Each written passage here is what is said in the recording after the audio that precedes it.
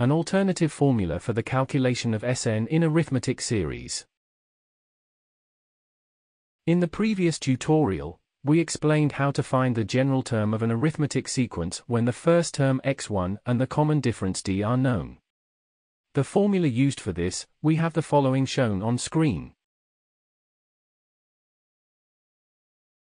Substituting this expression for x, n in the Gauss formula discussed in lesson 1 2.2.2 yields, we have the following shown on screen.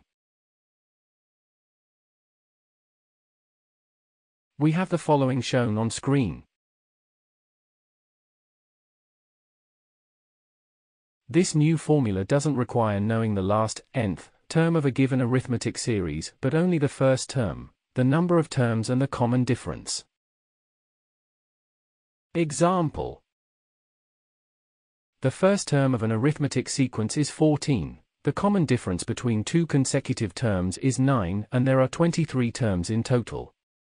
Calculate a. the sum of all terms of this sequence. b. the last term of this sequence. Solution a. Using the alternative formula for calculating the first n terms of the given arithmetic sequence yields we have the following shown on screen.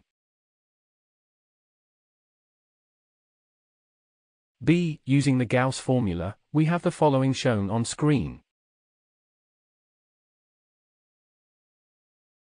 Yields for the last term x, n after substituting the known values, we have the following shown on screen.